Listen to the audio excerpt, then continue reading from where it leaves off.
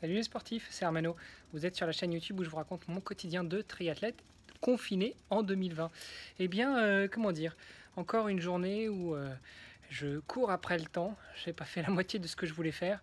Mais bon, déjà, on a réparé le garage qui était euh, inondé cette nuit.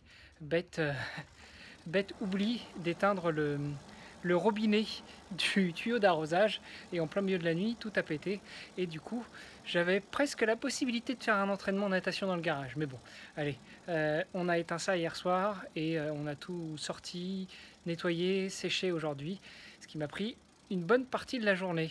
Euh, j'ai malgré tout quand même la chance de pouvoir faire ma petite séance de home trainer sur la terrasse.